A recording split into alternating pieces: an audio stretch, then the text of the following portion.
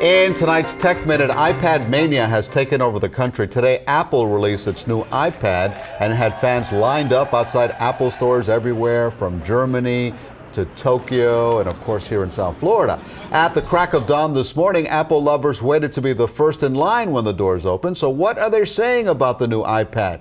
Does it live up to the hype? Here's CBS 4's Kara Kostanich with more.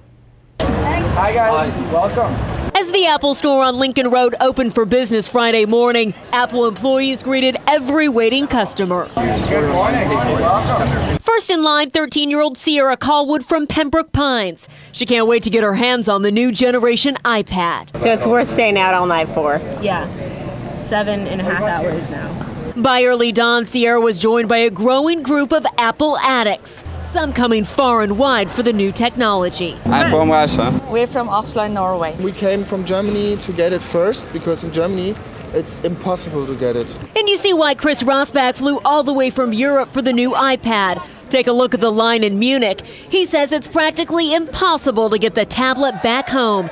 And this was the scene in Tokyo and Hong Kong and even Sydney, all for first dibs on the new generation iPad. It's fun to buy it here. Our overseas friends also say the price is a lot less in the United States. Glad now to get it now uh, to be one of the first people in the world to have it now.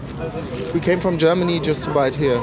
And here in Miami, all the talk is about the new features like the sharper HD display, a faster processor, and an upgraded HD camera. I'm, I'm just fascinated with the Retina display. The Retina display, of course.